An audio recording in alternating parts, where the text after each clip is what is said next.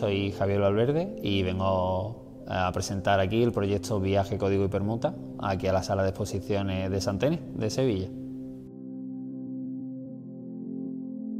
El proyecto eh, prácticamente mm, se basa en, por así decirlo, las idas y venidas que vengo a hacer desde la pintura, desde el lenguaje de la pintura, a, otro a otros medios y cómo confluyen al final en bueno, pues la pintura. ¿no? Entonces, es un poco la idea de, viaje, código y permuta, eh, que va bueno, precisamente de eso, ¿no? del deseo que siempre tengo a la hora de plantear proyectos, ¿no? que es un deseo de hacer cine, aunque siempre lo hago desde el prisma pictórico, desde la pintura, ¿no?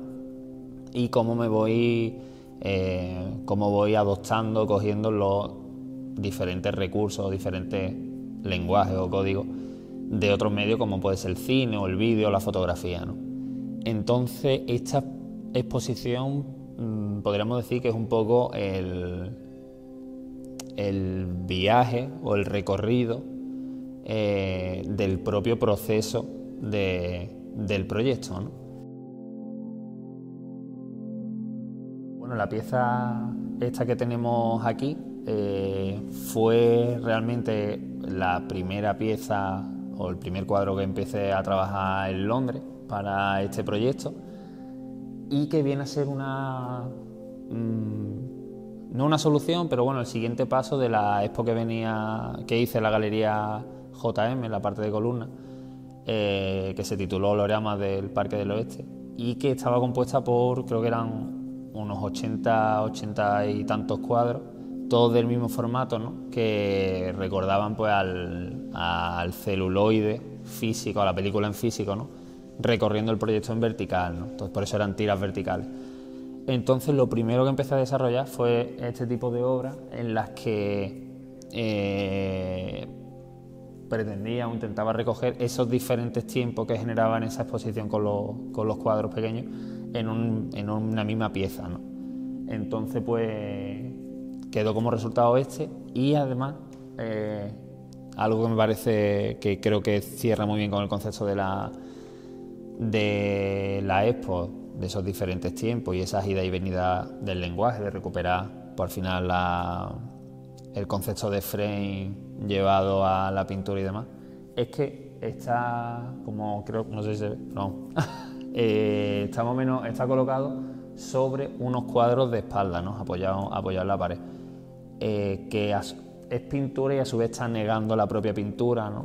dejando, dejando un poco entrever, eh, bueno, negando lo que no se ve, pero también abriendo la puerta a lo que se puede ver o hacia el futuro. ¿no? Entonces es uno de los puntos claves de la expo también porque es un cambio de código de lenguaje, ¿no? Se hace un poco más instalativo, ¿no? también el cuadro sale de la pared, no es el cuadro colgado que entendemos, sino que ya está apoyado en el suelo, eh, lo cual se está yendo a, algo más instalativo, eh, casi escultórico. Y eh, bueno, pues como decía, pues que cierra muy bien con, el concepto de la expo de ese viaje entre códigos y lenguaje.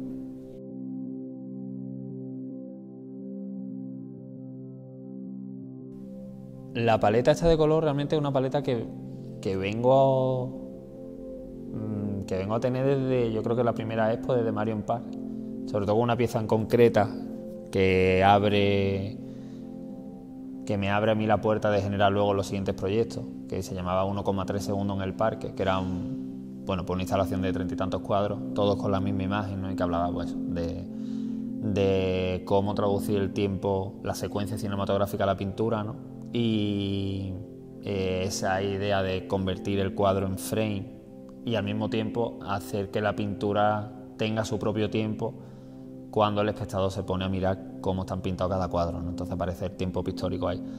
en esta pieza, que es la más grande de la expo, el tren este de cuadros, que serán, creo que son 10 metros o 9 y algo, más o menos, es donde conceptualmente sí se ve, o donde más fácil se ve ese, cambio eh, o ese cruce de códigos entre la pintura y mm, lenguajes como el cine o el vídeo, ¿no? Porque, por ejemplo, están montados de, tal manera que son como frames, son como, o como diapositivas que están cortadas y eh, se ha montado un tren de diapos desordenadas, ¿no?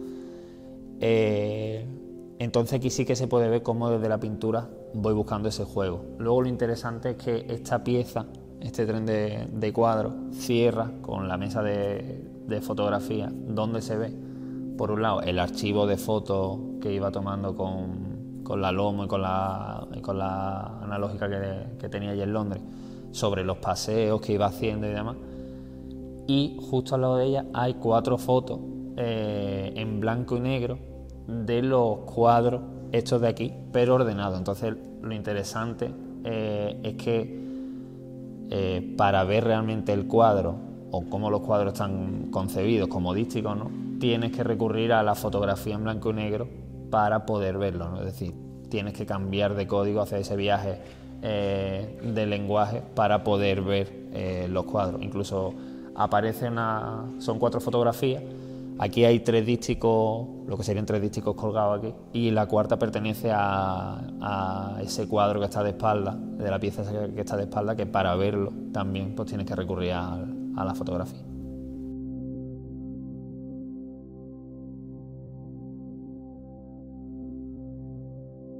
Esta pieza es, con la que cierra la exposición, es la, pintura la, única pintura de pequeño formato que tiene, que tiene la expo y eh, a nivel conceptual creo que es, un, que un buen cierre para la expo porque, eh, como se ve en la pieza, está compuesta por una franja de arriba, que es una, pequeña secuencia de las cuatro casas, y luego tiene en este primer plano este, esta otra casa, ¿no? ese pequeño pasaje que, aparece ahí.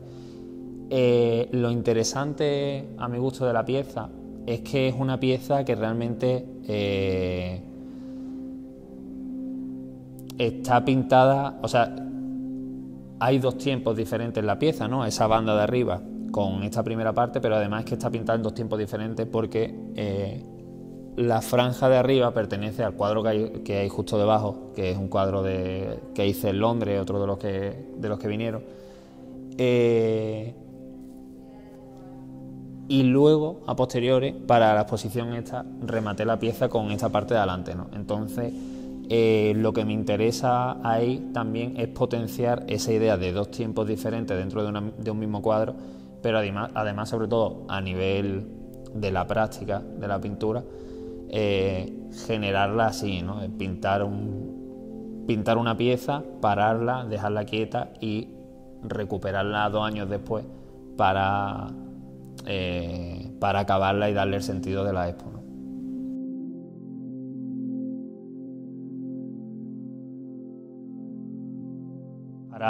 Para esta exposición eh, he contado con el comisariado de, Juan del Junco eh, y la verdad lo que me interesa, tenía mucho interés en que, él estuviera involucrado en el proyecto, porque bueno, un artista que eh, admiro desde que conocí su obra, yo creo en tercero de carrera, una conferencia que vino a, a dar y en esta, como decía, en estos intento de salirme de la pintura hacia, eh, hacia el lenguaje fotográfico o audiovisual, sí, al vídeo o así, eh, me interesaba mucho la visión que él podía dar a, todo este proyecto y a nivel, mm, a nivel eh, artístico contar con la figura de Juan, que es uno de los artistas más potentes a nivel nacional, pues para mí la verdad es que ha sido un lujazo y sobre todo un aprendizaje, o sea que,